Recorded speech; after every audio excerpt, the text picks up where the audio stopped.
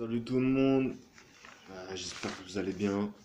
Euh, moi je réagis par rapport à ce qui s'est passé sur, euh, sur ce gamin de 15 ans là qui a, a été tabassé par, par je ne sais qui, je ne sais quoi. Donc j'espère que la, justice va faire son travail pour une fois. Voilà.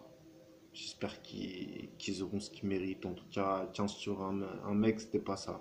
Dans les années 90-2000, c'était un contre un et c'était comme ça que ça se réglait.